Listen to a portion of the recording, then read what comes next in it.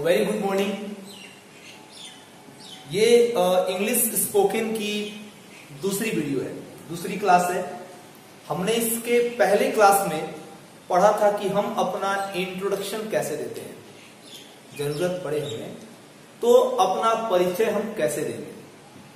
और ये YouTube पर इंग्लिश स्पोकन की मेरी दूसरी वीडियो होगी, जहाँ आज मैं आपको ये बताऊँगा कि डेली लाइफ में ऐसे बहुत सारे शब्द होते हैं, जिनको हम फ्रीक्वेंटली मतलब कि सबसे ज़्यादा बार बार हम उन्हीं शब्दों का प्रयोग करते हैं हिंदी में। तो अगर उन शब्दों की इंग्लिश हम जान जाए तो इसका मतलब आप ये भी कह सकते हैं कि आधी इंग्लिश तो हम ऐसे ही जान जाएँगे अगर आप ये सोचते हैं कि मैं पहले क्लास करूँगा, जब पूरी इंग्लिश मुझे आ जाएगी, तब मैं बोलना शुरू करूँगा। तो ऐसा कभी नहीं होगा, वो दिन ही कभी नहीं आएगा जब आपकी इंग्लिश कभी पूरी होगी। क्योंकि ये भाषा है, इसका अंत नहीं है। आपको चाहिए कि सबसे पहले आप उन शब्दों को खोजें, उन शब्दों का प्रयोग आप सबसे ज़्यादा करें, जिनका प्रयोग आप हिंदी में सबसे ज़्यादा करते हैं। उनकी इंग्लिश खोज करके उनका प्रयोग करना शुरू कीजिए। उनकी प्रैक्टिस शुरू कीजिए। मैं प्रॉमिस करता हूँ कि आप एक महीने में भी इंग्लिश बोलना सीख सकते हैं। बसरते आपको अपनी पर्सनालिटी पे थोड़ा ध्यान देना होगा। आपको थोड़ा केयरफुल रहना होगा बोलते समय। आइए, हम लोग आज की इस क्लास को शुरू करते हैं और आज का ये जो ये जो क्लास है, वो स्पेशल है केवल दिन भर में उन शब्दों के लिए जिनका प्रयोग हम सबसे अधिक बार करते हैं। तो सबसे पहले हम बात कर रहे हैं सैल्यूटेशन की।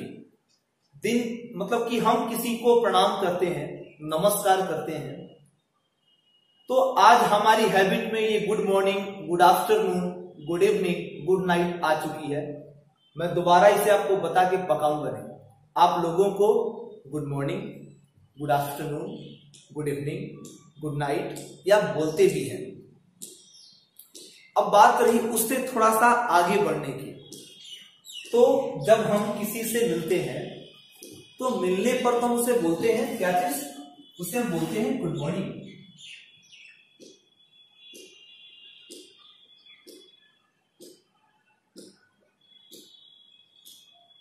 गुड मॉर्निंग और वो हमारा क्या लगता है वो हम जानते हैं जैसे good morning sir good morning uncle या दोस्त है तो गुड मॉर्निंग राहुल.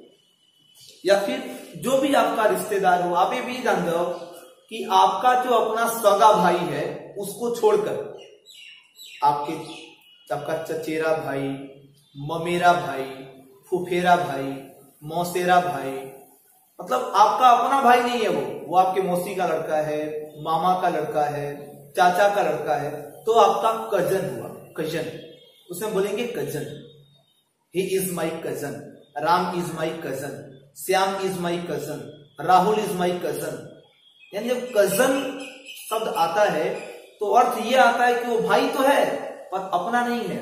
वो मामा का, फुआ का, मौसे का लड़का है। अच्छा। इसी तरह बहन भी होती है। अगर मेरी बहन है तो वो सिस्टर है। और वो मेरी मौसी की लड़की है, मामा की लड़की है, फुआ की लड़की है, चाचा की लड़की है। तो मेरी चचेरी, ममेरी, फुफेरी या मौसेरी बहन हुई तो उसको भी हम कज़न ही कहेंगे। अब सबसे बड़ी डिफिकल्टी ये आती है कि लोग कहते हैं कज़न ब्रदर और कज़न सिस्टर ये गलत है। कज़न ब्रदर और कज़न सिस्टर नहीं होता, केवल कज़न होता है। अब आप ये कह सकते हैं कि राधा इज़ माई कज़न तो राधा तो लड़की का नाम है। इसका मतलब आपकी फुफेरी, ममेरी, चचेरी, बहन हुई।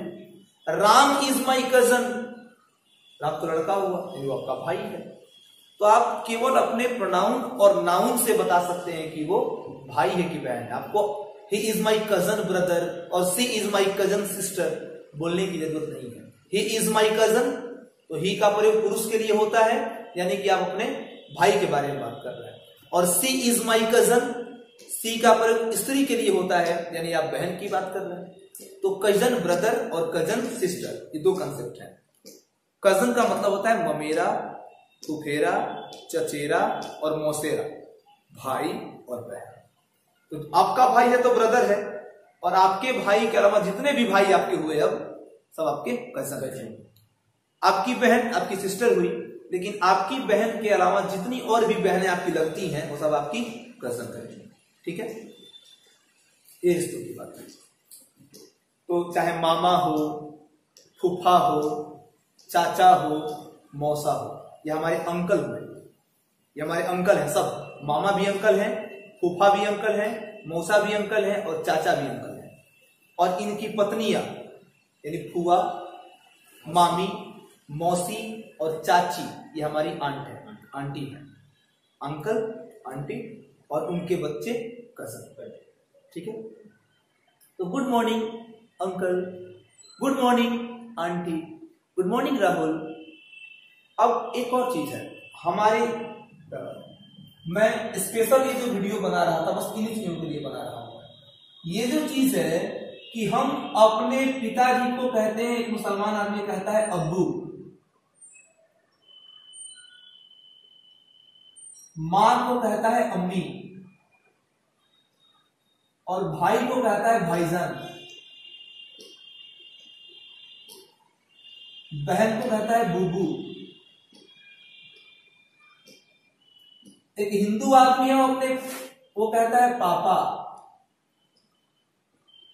मम्मी। भैया। और दीदी। तो सर जब अगर ये इंग्लिश बोल रहे हैं, मान लीजिए इनको गुड मॉर्निंग कहना है तो क्या बोलेंगे? गुड मॉर्निंग फादर अब्बू या पापा, उसको तो इंग्लिश में कहते हैं फादर तो क्या वो ये कहेगा गुड मॉर्निंग फादर नहीं. वो अपने फादर को जिस नाम से बुलाता है, वही नाम यूज़ करेगा. गुड मॉर्निंग अब्बू गुड मॉर्निंग पापा. रिश्तों के जो नाम आपने दिए हैं, उसी नाम से उसे पुकारे। हाँ और किसी और से हम बात कर रहे हैं कि मेरे अब्बू एक डॉक्टर हैं। तो चूँकि मैं अबू को बुला नहीं रहा हूँ तो मैं बोलूँगा my father is a doctor लेकिन जब मुझे अबू से बात करनी होगी तो मैं बोलूँगा गुड मॉर्निंग अबू क्या अबू आई एम ऑल्सो कमिंग मैं भी आ रहा हूँ।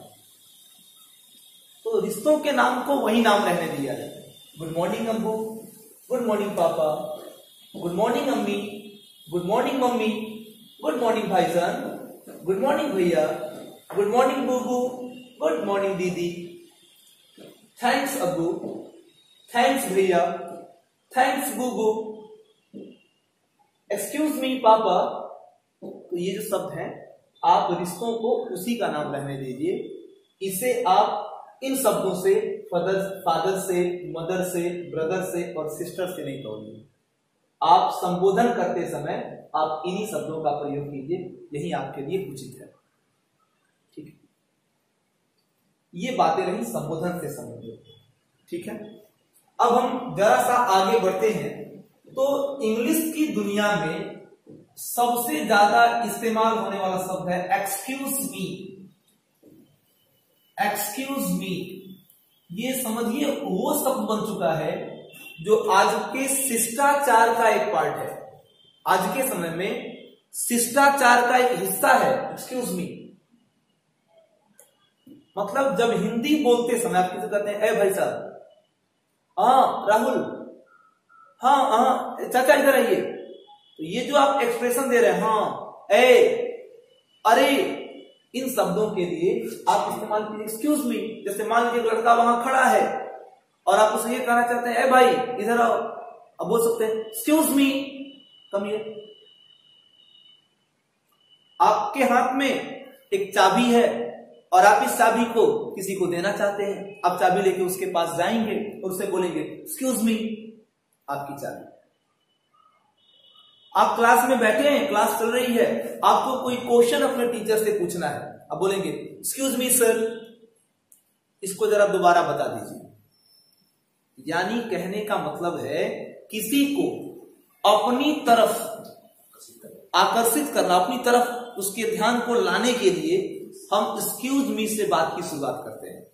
मान लीजिए, वहाँ एक आदमी खड़ा है और आप ये कहना चाहते हैं, वहाँ आप क्या कर रहे हैं? अब बोलेंगे ना ए और जब आपकी तरफ़ देखता है, तब आप कहते हैं, वहाँ क्या कर रहे हो?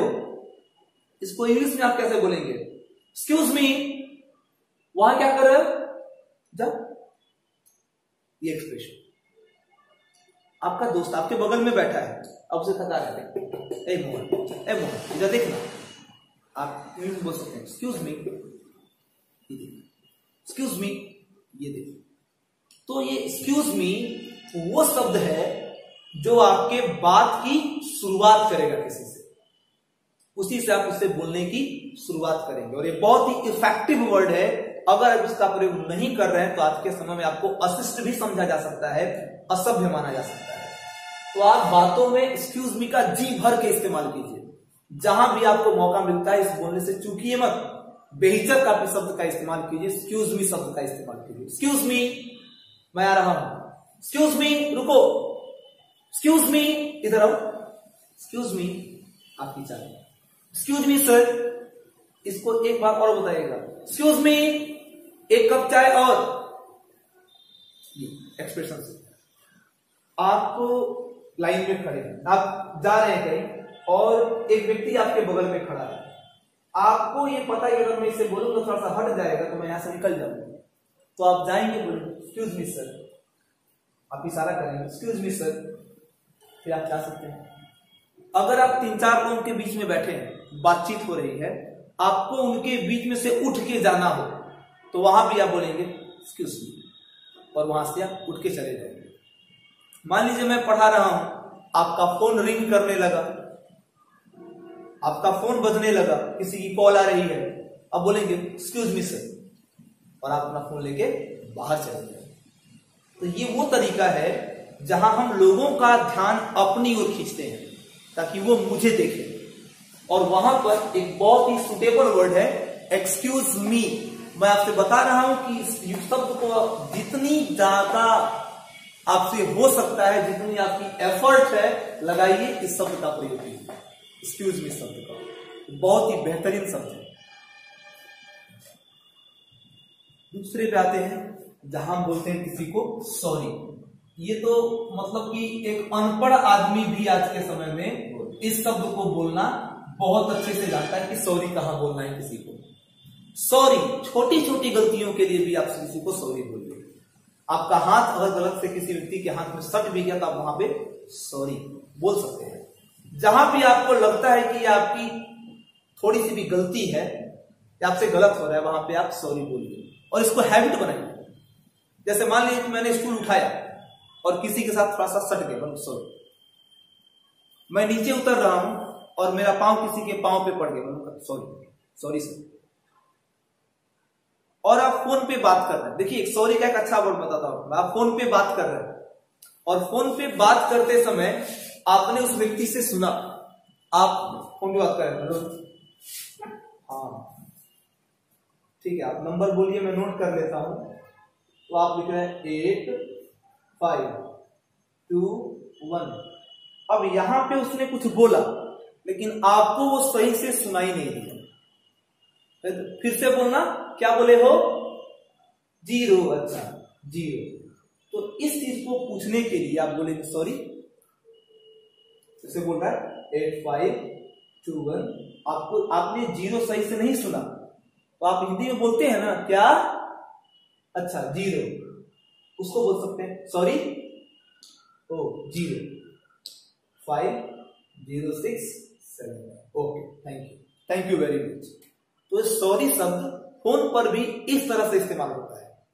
यानी जो बातें आपको क्लियर सुनाई नहीं दी, उनको दोबारा पूछने के लिए आप सॉरी शब्द का इस्तेमाल कर सकते हैं।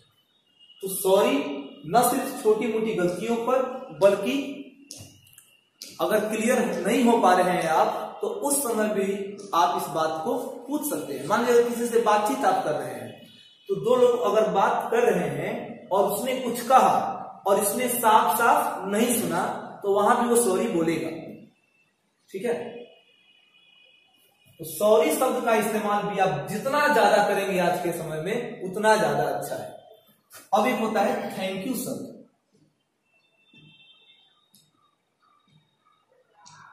थैंक्स और मान लीजिए अगर अगर आप गलती की आपने, और आपके अनुसार वो गलती बहुत बड़ी है,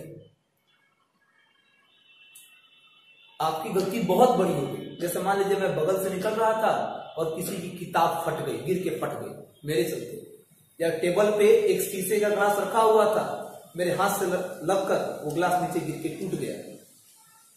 तो ये बड़ी गलती हुई, केवल सॉरी से काम नहीं चलेगा। हम बोल सकते हैं I am really very sorry I am really very sorry सचमुच बहुत मुझे दुख हुआ मेरे इस काम से। मैं बहुत क्षमा माँगता हूँ आपसे। I am really very sorry I am really very sorry I am really very sorry कुछ लोग बोलते हैं वेरी वेरी सॉरी वो नहीं है। आई एम ये आई और एम को आप बोलते हैं am I am really very sorry I am really very sorry sorry I am really very sorry तो ये ज़्यादा सॉरी बोलने का तरीका है। आपको लगता है जब बहुत बड़ी गलती हो गई है तो आप बोल सकते हैं I am really very sorry अच्छा थैंक्स शब्द का इस्तेमाल कहाँ करते हैं? जब आपको लगता है कि धन्यवाद बोलना चाहिए किसी को वेटर को आपने कहा, चाय लेकर आओ। Excuse me bring a cup of tea चाय लेकर आया। अब उसने तो आपका काम कर दिया। अब बोलती है उसको थैंक्स थैंक्स आपने बगल वाले से कलम मांगा। एक्सक्यूज मी जरा अपना कलम देना। उसने कलम दे दिया। थैंक्स आपने पानी मांगा। पानी आपको मिल गया। थैंक्स आपने सड़क पे लिफ्ट मांगी। लिफ्ट उस बाइक वाले ने आपको आपके डेस्टिनेशन तक आपके मंजिल तक आपको पहुँचा दिया। थैंक्स आपने क्वेश्चन पूछा मैंने बता दिया।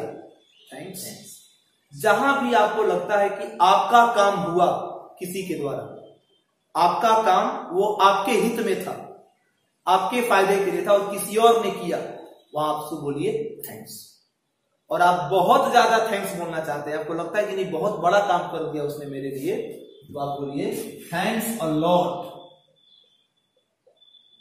thanks a lot आप वहाँ बोल सकते हैं थैंक्स अ लॉट आपका बहुत बहुत शुक्रिया। मान लीजिए किसी मैं जा रहा था रास्ते से मैंने एक बाइक वाले को रोका रुक गया मुझे बैठाया उसने उसको कहीं और जाना था पर मुझे अकेला उसने देखा रात के दस बज रहे थे तो पहले उसने मुझे मेरे घर पे पहुँचा दिया और फिर वहाँ से होके वो अपने घर जाएगा। इस इसका मतलब तो ये हुआ है उसने मेरी बहुत बड़ी मदद कर दी। तो मैं वहाँ उससे बोलूँगा थैंक्स अ लॉट आपका बहुत बहुत धन्यवाद दिल से धन्यवाद thanks a lot thanks normally और जब ज़्यादा बोलना हो तो थैंक्स अ लॉट थोड़ी बहुत गलती हो तो सॉरी लेकिन जब बहुत ज़्यादा गलती फील करानी हो तो I am really very sorry ये बातें समझ में आ रही हैं आपको? Yes. अच्छा। अगर आपको कोई, अब आपको बोले कोई बात नहीं, ठीक है, चलता है, हो जाता है गलती, किसी से भी हो सकती है, कोई बात नहीं है। आप बोल सकते हैं इट्स ओके इट्स ओके कोई बात नहीं, कोई ठीक है। इट्स ओके अब आपको किसने सॉरी बोला सॉरी सर इट्स ओके या फिर इट्स ऑल राइट आप एक और बोल सकते हैं इट्स ऑल राइट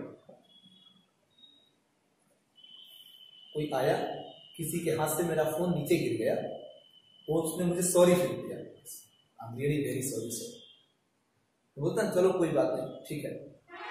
बोल सकता हूँ it's all right it's all right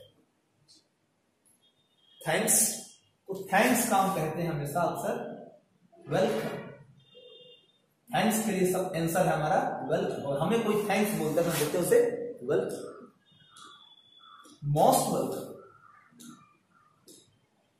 welcome most welcome इसने थैंक यू कहा मैं उत्तर में दूँगा उसे. वेलकम मोस्ट वेलकम स्वागत है अरे इसमें कोई बहुत बड़ी बात नहीं. मेरे आपने मांगा था, मैंने आपको दे दिया, मेरे पास था. इसमें थैंक यू कहने की क्या बात है? अब इतना लंबा नहीं बोल के बोलेंगे. मोस्ट वेलकम तो सर एक्सक्यूज मी का प्रयोग करना सीखा आपने. जितनी मर्ज़ी कीजिए. एक्सक्यूज मी शब्द का प्रयोग सॉरी बोला आपने। Sorry thanks I am really very sorry thanks a lot it's okay it's okay हाँ कभी हम कहते कोई बात नहीं, बेटा हो जाता है तो कोई बात नहीं। इसके इंग्लिश होती है मेंशन नॉट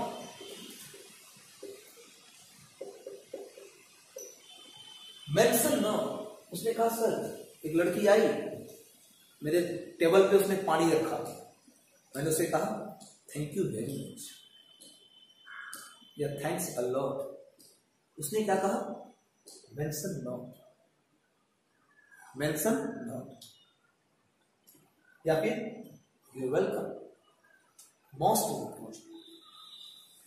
तो इन आदतों को आप भी सीखिए प्रयोग कीजिए। आपको इंग्लिश बोलने आएगा। ये अब देखिए अब मैं आपको कुछ छोटे शब्द बताता हूँ। आप से कोई पूछता है, क्या आप शाकाहारी हैं? आर यू अ वेजिटेरियन क्या आप शाकाहारी हैं? आर यू अ वेजिटेरियन तो आप कहते हैं हाँ मैं शाकाहारी हूँ। क्या आप मांसाहारी हैं? Are you a non vegetarian हम कहते हैं, नहीं, मैं मांसाहारी नहीं हूँ। या फिर ये भी कह सकते हैं हाँ मैं मांसाहारी हूँ। क्या आप एक स्टूडेंट हैं? हाँ मैं एक स्टूडेंट हूँ। या फिर, नहीं, मैं एक स्टूडेंट नहीं हूँ। क्या आप नौकर हैं? हाँ मैं एक नौकर हूँ। या, नहीं नहीं, मैं नौकर नहीं हूँ। तो मतलब किसी के द्वारा पूछे गए बातों पर कि क्या आप ये हैं? अगर आप कहना चाहते कि हाँ मैं वो हूँ तो उसका आंसर होगा यस आई एम हाँ मैं हूँ।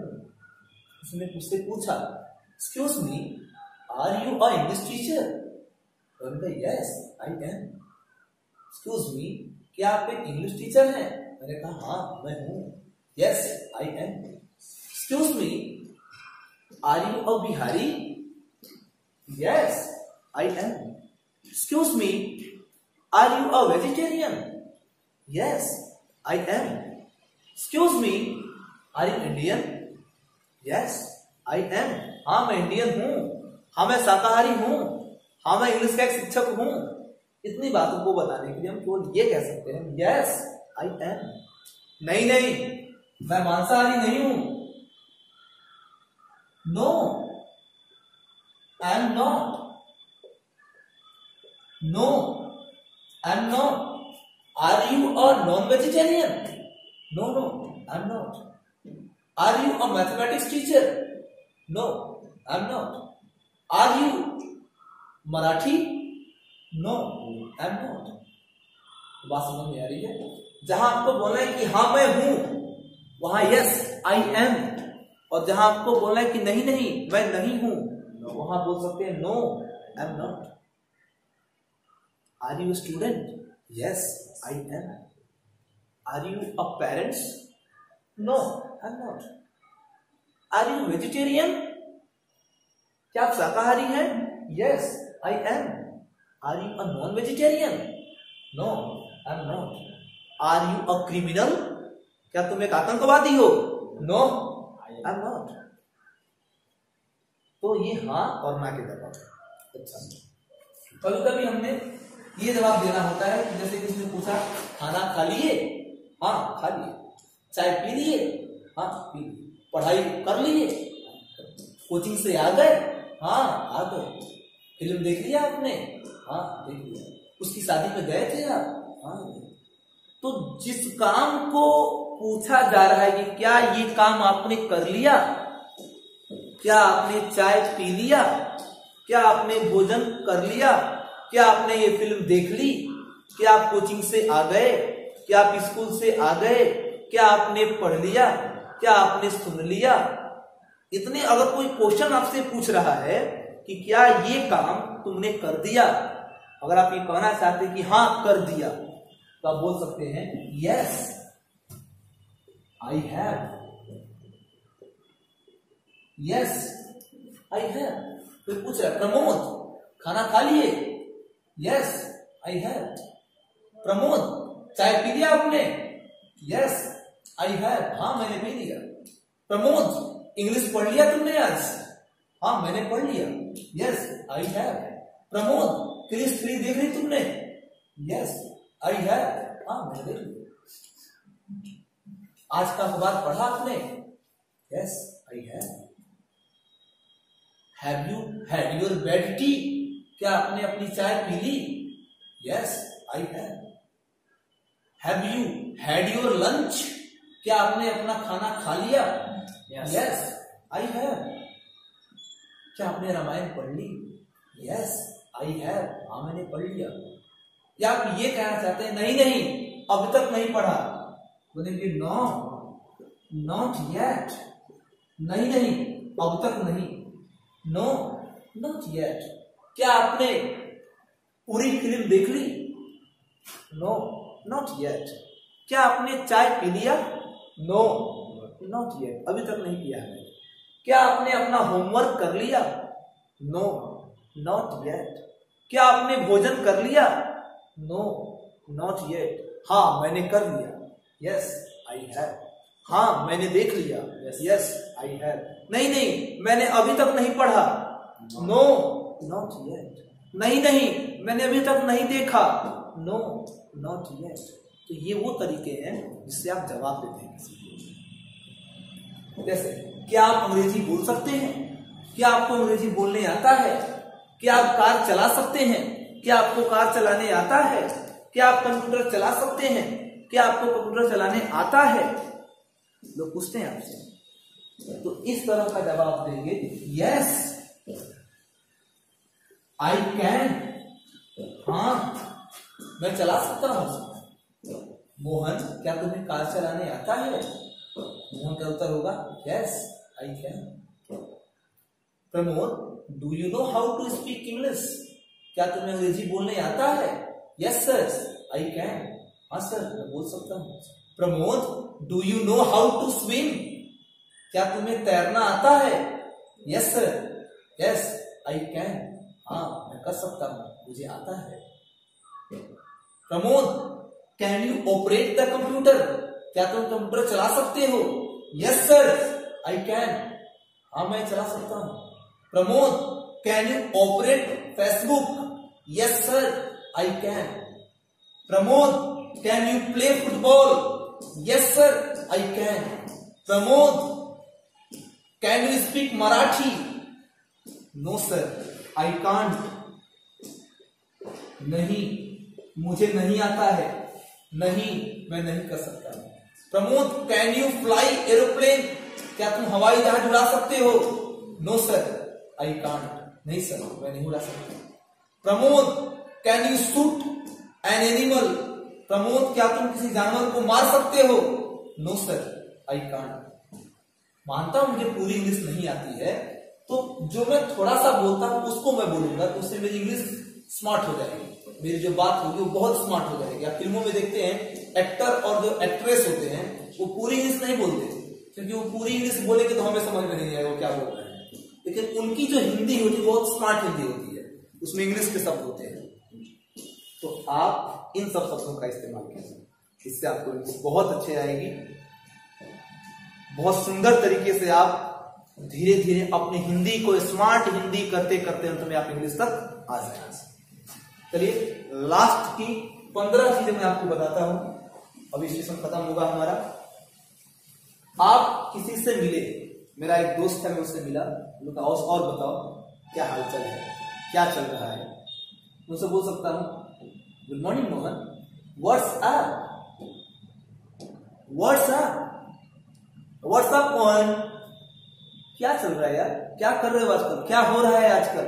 व्हाट्सएप तो उसके पास दो आंसर वो कहेगा नथिंग स्पेशल कुछ खास नहीं, वही घिसा पीटा उसने किसी से, और भाई, क्या हो रहा है आजकल? तो ना, वही हो रहा है, दुकानें चला रहे हैं, कोचिंग पढ़ा रहे हैं, वही पढ़ा ही रहे हैं अभी। यानी इसका मतलब कि मैंने कुछ नया नहीं किया। उसको बोलेंगे नथिंग स्पेशल कुछ खास नहीं चल रहा है, वही पढ़ा रहा हूँ। नथिंग एल्स कुछ और नहीं, वही काम हो रहा है। मेरा यानी व्हाट्स आपका आंसर आप दे सकते हैं नथिंग नथिंग स्पेशल और नथिंग एल्स से। यानी व्हाट्सअप क्या हो रहा है आजकल? कुछ खास नहीं, कुछ नया नहीं। वही हो रहा है जो हमेशा करता हूँ। नथिंग स्पेशल नथिंग एल्स आप खाना खा रहे हैं।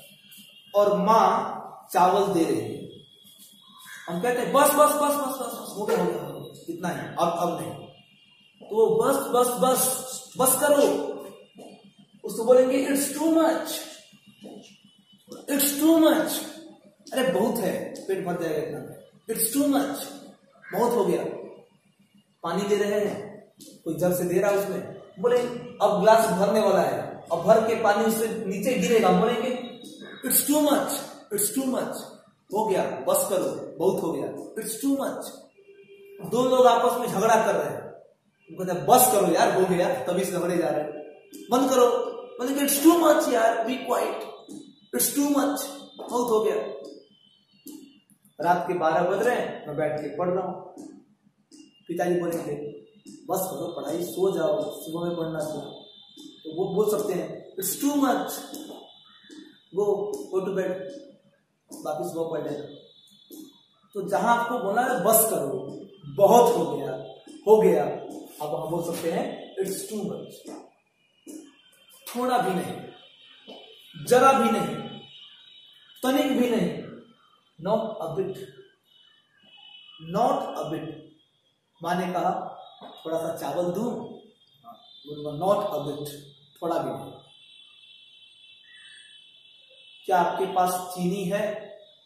सर, आज तो थोड़ा भी नहीं नॉट अ बिट क्या आपके कमरे में, मैं आके सो सकता हूँ? जगह है आपके कमरे में?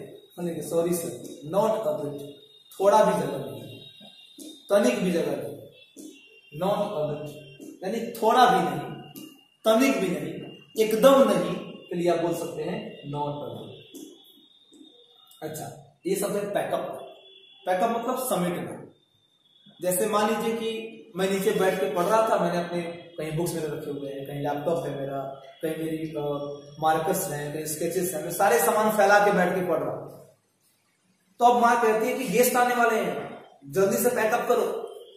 यानी जल्दी से अपने इन सामान को समेट लो, इकट्ठा कर लो। पैकअप करो, इकट्ठा करो इसे, समेट लो।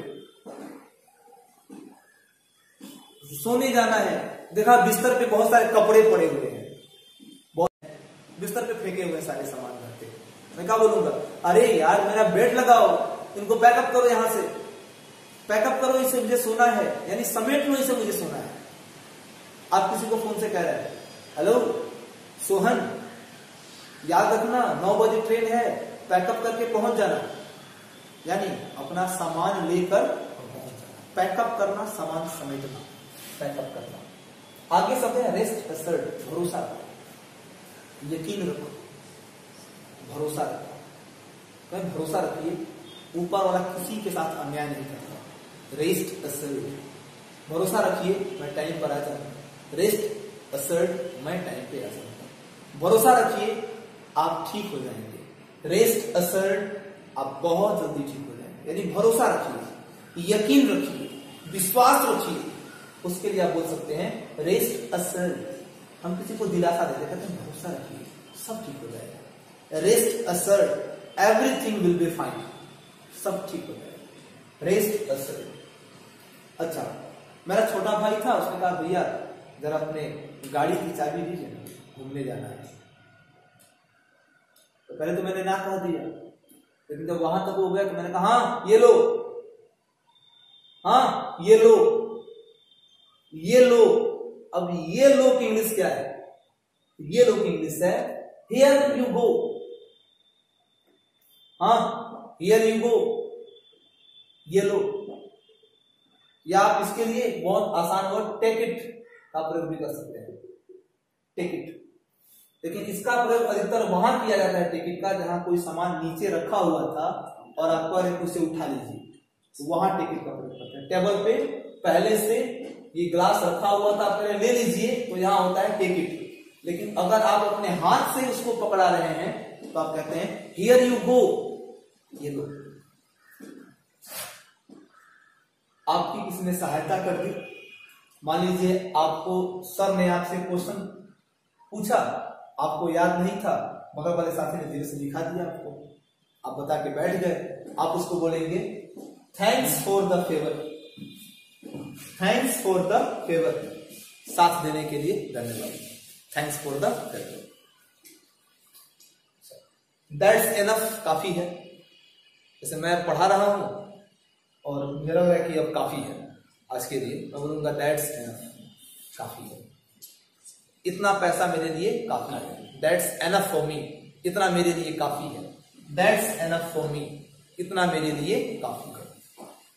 तो काफ़ी के लिए हम इस्तेमाल करते हैं दैट्स एनफ कहते हैं, सर, क्या आप मुझे इंग्लिश बोलना सिखाएँगे? मैं क्या बोलूँ? क्यों नहीं? बिल्कुल सिखाऊँगा, मेरा काम सिखाने का है. क्यों नहीं भाई? वाई नो उसने कहा कि मैं आपके घर पे कल नहीं आ सकता। क्यों? वाई तो आपको मेरी खातिरदारी करनी पड़ेगी। क्यों नहीं? क्यों नहीं करेंगे आपकी खातिरदारी? वाई नॉट यानी क्यों नहीं? हम बहुत बार बोलते हैं अपने लाइफ में, क्यों नहीं? मैं आपके घर पे कल आऊँगा तो आप मुझे चाय पिलाइएगा ना? क्यों नहीं? वाई नॉट बहुत बुरा है। हाउ एब्सर्ड कितना बेकार है ना?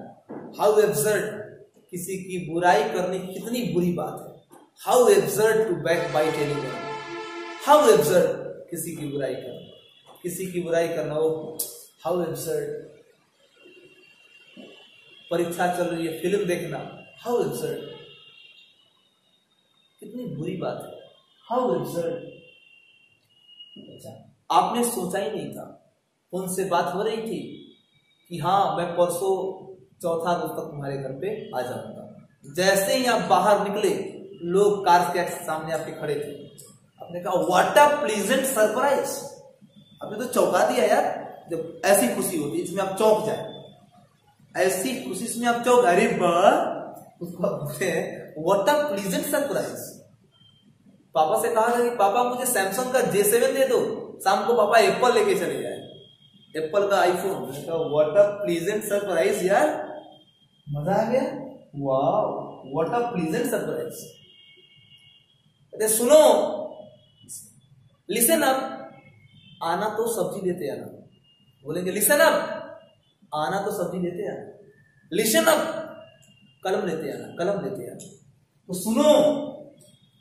मेरी बात सुनो। लिसन अप मैं खत्म करने जा रहा हूँ। ये वीडियो अब खत्म होने जा रही है। Listen up this video is going to end चिंता मत कीजिए। बहुत, इस सब का इस्तेमाल बहुत करते हैं। चिंता मत कीजिए। फ़िक्र मत कीजिए। डोंट वरी सब ठीक हो जाएगा। डोंट वरी मैं ऐसा समझ डोंट वरी सब मैनेज हो जाएगा। डोंट वरी तुम देखते जाओ क्या क्या कर रहा हूँ। चिंता मत करो, परवाह मत करो फ़िक्र मत करो। तो ये कुछ ऐसे शब्द थे जिनका प्रयोग करके आप अब इस वीडियो को तीन बार, चार बार, पाँच बार चला के देखें। और इसका प्रयोग आप अपनी डेली लाइफ में करें। मैं वादा करता हूँ, एक सप्ताह के अंदर आप अपनी डेली हैबिट के 45 प्रतिशत शब्दों का यूज़ करना सीख जाएँगे। आप बोलने लगेंगे और लोग नोटिस करेंगे कि भाई इस लड़की में चेंजिंग आ रही है। ये इंग्लिश सीख रहा है। Thank you